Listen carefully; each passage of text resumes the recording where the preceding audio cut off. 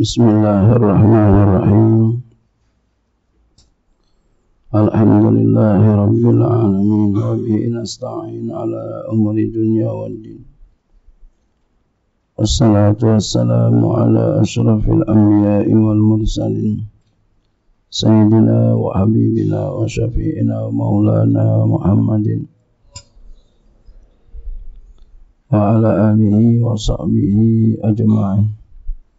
سبحانك لا علم لنا إلا ما علمتنا إنك أنت العليم الحكيم ولا حول ولا قوة إلا بالله العلي العظيم أما بعد قال مصنف رحمه الله تعالى وأدام نفعا في علم في دارنا آمين وصفة صريحة صلة وكونها بمعرب الأفعال قال dan sila alif lam yaitu sifat yang syarihah dan keadaannya itu dengan fil-fil yang murab itu sedikit. Jadi sila yang alif lam mausul yang alif lam ya, ya, alif lam yang diwasolkan itu hanya kepada sifat-sifat yang soreha. Seperti kepada isim fa'il isim maf'ul musabab bismil fa'il. Isim fa'il seperti ad-daribu itu ada alif lamnya ad-daribu isim maf'ul al-madrubu ada alif lamnya.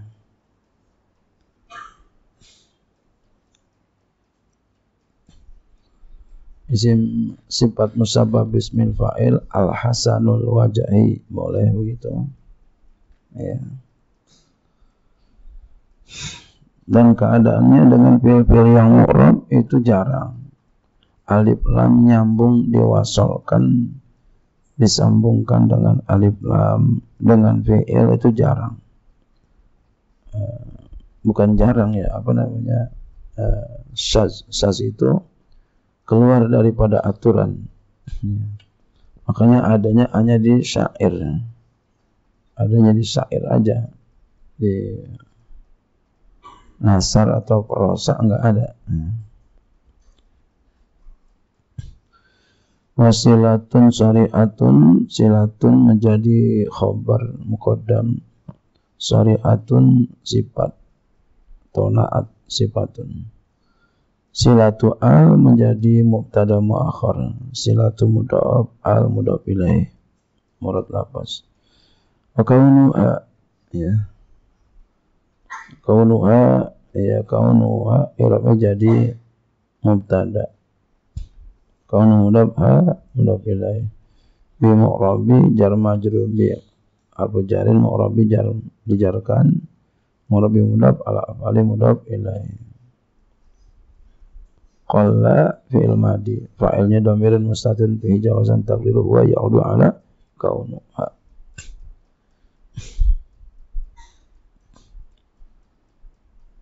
Al alifu wal mula tusalu ila bisifati syari'ati bermula alif dan lam yaitu tidak boleh diwasalkan ia kecuali dengan sifat yang syariah. Ya, qala al-musannifu berkata oleh musannif di kutubihi pada sebagian kitab-kitabnya wa a'ni bi sifati syariati aku kehendaki dengan sifat yang syariah ismal fa'il akan isim fa'il. Nah, umpama ad-doribu hmm. ya sim fa'il wasmal maf'ul sim maf'ul. Nahu sumpama al madrubu boleh baca tadi nahu doribi juga boleh. Ya. nahu madrubi juga boleh. Wasifatal musyabbahata dan sifat musyabbah. Ya ini suaranya lagi kurang fit ya lagi kurang sehatnya. dan sifat musyabah nahu umpama al hasanul wajhi. Yang mau baca begitu juga boleh. Kalau wajhi berarti ya jadi apa? Jadi mudah pilih kalau wajhu juga boleh jadi fa'il hasan. Raja maka keluar nahu oleh sumpama al qurasyiyu ini namanya ghairu sariha. Dia sifat juga karena ada ya nisbat sifat itu cuma ghairu sariha ya. Tidak sore yang sore langsung kalimat itu memang kalimat sifat. Isim fa'il itu kalimat sifat. Isim maf'ul itu kalimat sifat. Musabbah bismil fa'il itu kalimat sifat namanya sifatun sorehatun ya. ada yang bukan salib sore'ah yaitu ditaruhin ya ya nisbat sebenarnya bukan sifat ditaruhin. Ya nisbat jadi sifat. Nahu sumpah. Fakharaja maka keluar nahu oleh sumpahna al-qurasi wal kura nahul qurasi boleh wal abdoli boleh. Ya. boleh juga al-qurasiyu wal abdolu murad labas boleh orang yang bangsa Quraisy al-abdal yang lebih abdal. Wa fi kaunil alif wal lam adakhilataini ala sifatil musyabahati mausulatun khilafun. Wa fi kaunil alif dan pada keadaan alif wal lam dan lam adakhilataini adakhilataini yang masuk keduanya ala sifatil musyabahati atas sifat yang musyabahah ya. Mausulatan. Ya atas sifat musyabah hal keadaannya diwasolkan khilafun. Itu khilaf. Ya. Jadi pada keadaan alif lam yang masuk atas sifat musyabah ya yang disambungkan alif lam kepadanya kepada sifat musyabah itu khilaf ulama.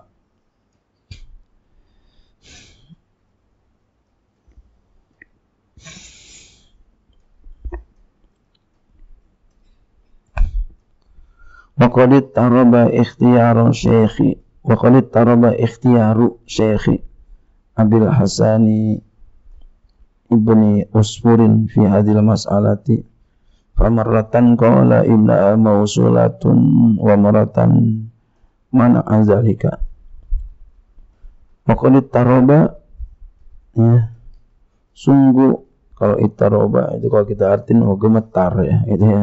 ya maksudnya tidak menentukan pilihan ya tidak menentukan tidak tertentu oleh pilihan syekh ya. apa ya atau juga ya, tidak menentukan pendapat ya, ya. Jadi tidak tertentu oleh pilihan Syekh Abil Hasan bin Uspur pada masalah ini. Pemerrotan kala maka sekali-sekali ia mengatakan inna mausulatun sesungguhnya itu ya la alif lamnya mausul wa maratan zalika. Ya. Dan sekali-sekali ia mencegah demikian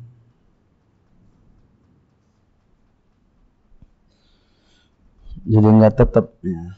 jadi kalau begitu apa? Ada selisih paham. Itu kita dalam segi ilmu begitu jangan kita maksain diri ya. Kalau orang silakan begitu pendapatnya ya sepanjang dia punya dalil ya silakan. Kita seperti ini ya kita harus yakin dengan pendapat kita gitu ya. Orang ya biarin begitu kita nggak boleh mencela orang lain Apalagi kita bilang orang lain kagak ngaji, jangan ya. guru bukan kita doang, banyak guru ya. Begitu ya. Waqad syazza waslul alifi wal bil fi'lil mudhari'i dan sungguh syaz. Sungguh janggal, sungguh uh, keluar dari aturan. Ya. Ya, keluar dari aturan syaz itu begitu keluar dari aturan. Aturannya alif lam itu masuknya kepada isim bukan kepada fiil. Ya, kita belum temukan yang namanya alif lam ketemu atau nyambung kepada isim. Uh, uh, uh, nyambung kepada fi'il semuanya rata-rata kepada is isim. Ya nah kalau ada nyambungnya kepada fi'il ini namanya syaz keluar daripada aturan yang biasa. Berarti ini khorikul ada gitu ya.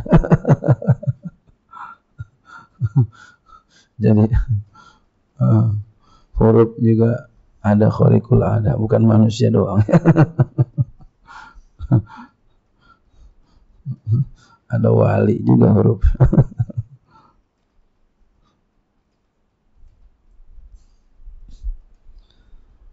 Maka syaza wasul alif wa lam bil fil mudari dan sungguh syaz oleh mewasalkan alif dan lam dengan fi'il mudari. Ya. Wa ilaihi asyara bi kauli dan kepadanya mengisyaratkan ia dengan perkataan wa kaunuha bi mu'rabil af'ali qal dan keadaannya alif lam ya dengan fiil-fiil yang mu'rab itu sedikit wa min di antaranya kauluhu perkataannya ma anta bil hakamil turda hukumatu turda itu ya. Walal asili wala zirra'i wal jadari jadi turda turda ini isim uh, fiil mudhari majhul. Tapi pakai alif lam at-turdo. Ini tidak umum.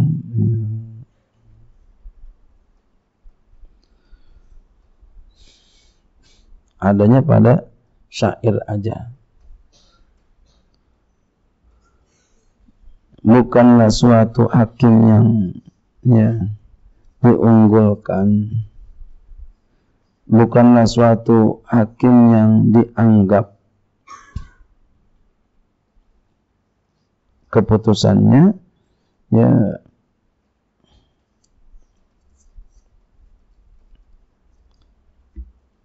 walal asilu wala zirra'i wal jadal dan juga bukan keturunan yang tinggi. Dan bukan orang yang mempunyai pendapat. Dan bukan orang yang ahli berdebat. Jadi syahid kita atau contoh kita adalah at-turda. Wa hadha inda jumhuril basriyina. Ini jumhur ulama Basrah. Maksusun bisyari, bisyari. Itu dikhususkan dengan syair. Wa za'amal musannifu fi ghairi adzal kitabi annahu la yakhtassu bi bal yajuzu bil ikhtiyari. Uh, ini jumhur ulama mengatakan itu fi alif lam nyambung kepada fi'il mudhari kepada fi'il fi'il di antara fi'il mudhari itu hanya pada syair saja. Tapi menurut Musannif Ibnu ya menurut Musannif Ibnu Malik ya pada selain kitab ini beliau mengatakan anna la yahtasu itu enggak khusus dengan dengannya dengan syair. Bal yajuzu fil ikhtiar. Bahkan boleh pada waktu ikhtiar. Ya prosa pada yang nasar. Boleh Waqad ja'a waslu abil jumlatil ismiyati wa bizrufi susuzan dan sungguh ya datang oleh wasalnya dengan jumlah ismiyah dan dengan sorab-sorab dan ya, al keadaannya saz. Keluar daripada aturannya. Faminal awali kalau maka di antara yang pertama perkataannya kepada uh, jumlah ismiyah minal qaumir rasulullah minhum lahum danat riqabu bani ma'adun